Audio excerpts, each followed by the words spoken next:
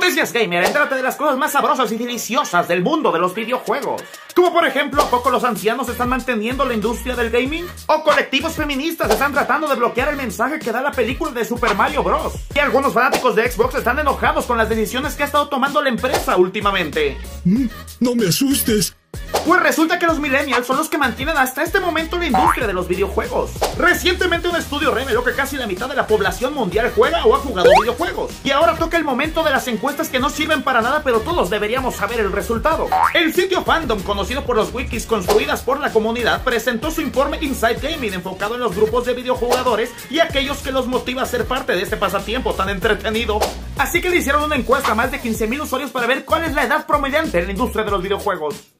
¡Acércate, viejo! ¡Acércate! El estudio revela que aquellos nacidos en los 80 y parte de los 90, así conocidos como los millennials, es la que mejor muestra compromiso con los videojuegos, mostrando hasta unas 22 horas a la semana para jugar a diferentes tipos de videojuegos. De igual manera, el 52% de los jugadores dentro del grupo de los millennials manifestaron que los videojuegos son su pasatiempo número uno.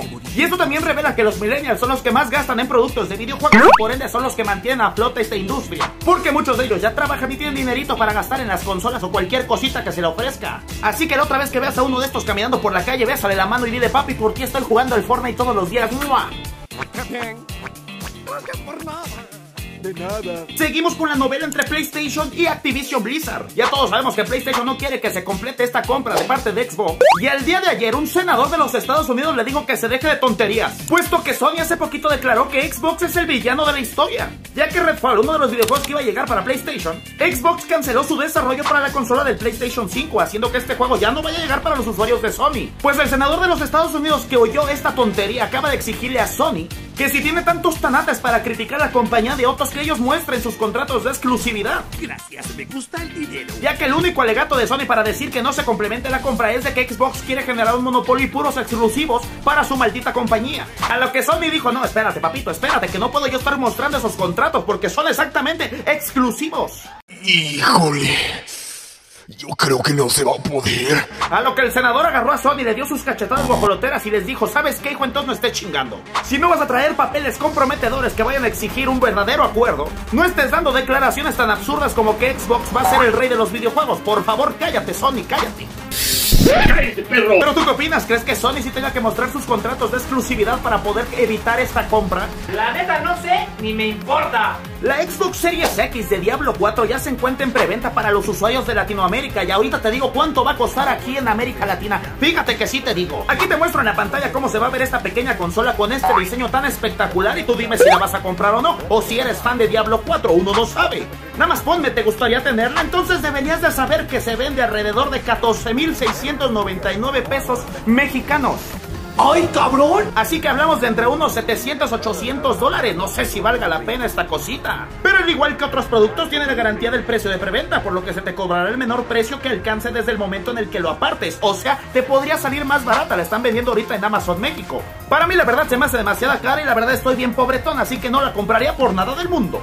¡Cállese y tome mi dinero! Pues sí, Robio, la compañía que es desarrolladora del juego Angry Birds. Y pues este jueguito todos lo conocemos, son unos pajaritos que le quieren matar la puerca a algunos. Pues resulta que últimamente Sega está en pláticas para poder comprar la compañía. ¿Y esto qué va a significar? Que todos los juegos o las patentes que tenga Robio se van a pasar a Sega. O sea, imagínate estar viendo videojuegos en los cuales tengas a Sonic y tengas a los pollitos sabrosos de Angry Birds. Lo más interesante es que lo que más rentable y ahorita le está dejando mucho son las patentes cinematográficas y el uso de la marca. O sea que los personajes están dejando en series de televisión, en series de Netflix, en series de lo que tú quieras y también las películas desarrolladas con los personajes. Así que quién sabe, posiblemente en la pantalla grande podríamos ver a Sonic con los pajaritos de Angry Birds ahora sí.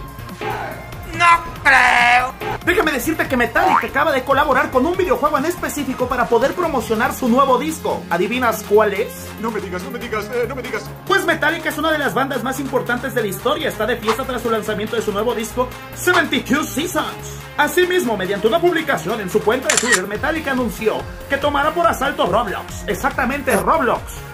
Este fin de semana los jugadores podrán escuchar las canciones de su nuevo disco y aprovechar el hype del lanzamiento porque posiblemente se genere un evento en el cual los integrantes del grupo aparezcan en un servidor en Roblox tocando estas canciones. Déjame decirte que esta decisión tuvo algunas críticas porque no es que sean haters de Metallica, pero sí son haters de Roblox, así que las personas empezaron a decir que por qué en maldito Roblox si yo no juego esa porquería.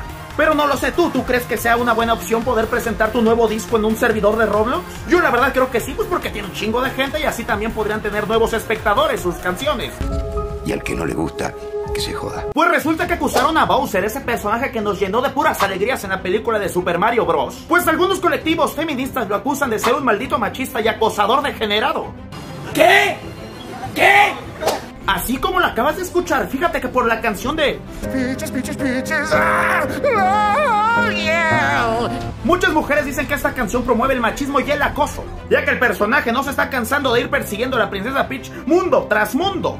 A lo que obviamente muchos fans salieron a defender la película. Y específicamente al personaje diciendo que no jodan hijas, es una película para niños, una película para niños. Ah, eso tiene sentido. No, no lo tiene. No, no lo tiene. También indican que las personas que remeten contra la melodía reconocen que Bowser es el villano y que la propia película es rechazado. Afirman que el verdadero problema son aquellas personas que se identifican con el personaje y justifican e idolatran sus acciones. También en una entrevista reciente, Jack Black afirmó que en la secuencia musical permite ver el lado más inseguro, sensible y romántico del antagonista principal de la cinta. Sin embargo, reconoció que la canción también tiene un lado oscuro, pues muestra un amor codicioso y celoso, donde se intuye que Bowser quiere controlar los sentimientos de la princesa Peach.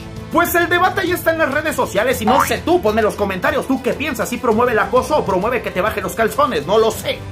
Ah, creencia de gente pendeja. Los fanáticos están enojados con la interfaz de Xbox. Pues Xbox está preparando una serie de cambios para su interfaz ya que los usuarios se han mostrado insatisfechos con su estado actual. Pues un gerente de la plataforma Xbox confirmó que está trabajando en una experiencia actualizada y renovada para las pantallas principales de las Xbox Series X y S. Y esto se debe a que el año pasado pues Microsoft comenzó a probar una nueva interfaz al inicio de Xbox. Pero muchos fans no quedaron impresionados o satisfechos con esta interfaz, ya que de la verdad decían que era muy deficiente el hecho de poder cambiar entre juegos o poder ver las visualizaciones de tus amigos, cosas que se comparten, etcétera, etcétera. Así como digamos está todo revuelto y nadie entendió ni más. Esto es lo que ha declarado Xbox en sus cuentas de Twitter. Hemos escuchado de ustedes que los cambios en la parte superior de Home no dejaban suficiente espacio para disfrutar de sus fondos de pantalla y que se sentía aborratado. También indican, estamos trabajando para equilibrar la experiencia, la accesibilidad, la función y las necesidades de nuestra comunidad y brindarles una experiencia de home genial y renovada, así sabrosa, trucutru, trucutru. Muchos fans están a gusto con este phone y luego les están diciendo en el mismo post que aprendan de PlayStation, ya que PlayStation tiene una mejor versión de la página principal en su consola. Así como se dice, ningún chile les embona, ya les están haciendo caso. Ya hijos, no los estén apuñalando más, por favor, ya déjenlo. ¡No déjalo! ¡Ya está muerto! Lo que sí les respeto es que Xbox escucha mucho a la comunidad, así que también están generando estos cambios gracias a la comunidad, así que siéntanse agradecidos, por lo menos alguien los escucha. Agradecido con el de arriba. Pues esto fue todo por este video, muchas gracias por haber seguido, muchas gracias por ese like, apoyas demasiado. Nos vemos en otro video, ya estás completamente informado de Noticias Gamer, nos vemos, bye.